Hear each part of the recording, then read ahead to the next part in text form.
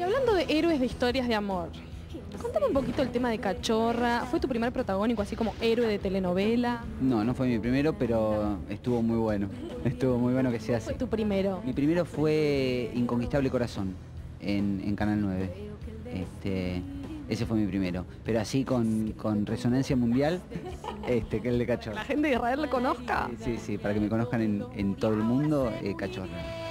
Tenían una licencia, digamos, para jugar bastante con lo cómico, ¿no? Porque era bastante... Totalmente. Creo que eso fue lo que, lo que Natalia le quiso poner al programa, ¿no? como, como la marca que ella quería con, con- el programa. Eh, que, que vi- virara a la comedia ante cualquier situación.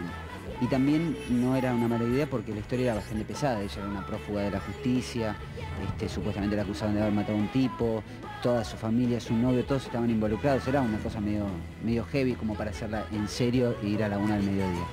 Eh, y me parece que fue una buena idea.